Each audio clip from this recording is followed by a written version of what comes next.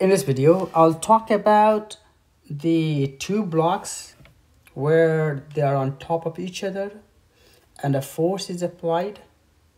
Now, we are interested in finding out the magnitude of the force that is acting onto the, the top mass. So, how are we going to do it?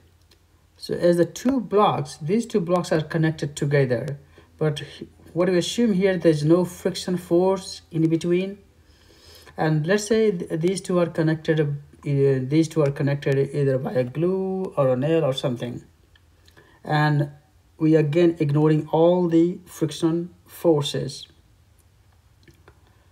So when the two blocks are connected together and a force is applied, the two blocks or the system moves with the same acceleration.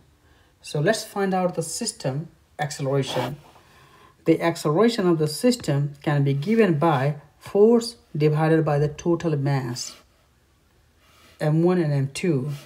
So the mass of the first object is 15 kilogram, the second object is 5 kilogram, and what you get the acceleration is 1 meter per second square.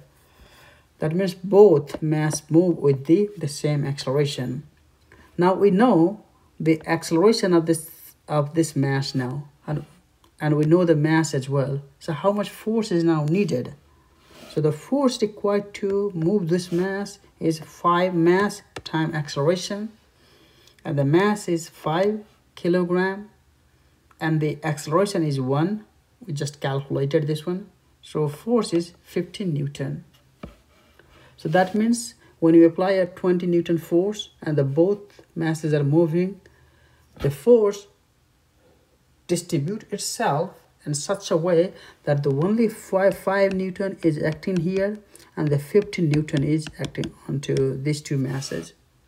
And the entire system moves with an acceleration of 1 meter per second square. And the direction of the force again is in the same direction here so that's it it's a pretty straightforward thing so again if you have any questions or comments write down in the comment section below. And at the end do not forget to like share and subscribe the channel. Thank you very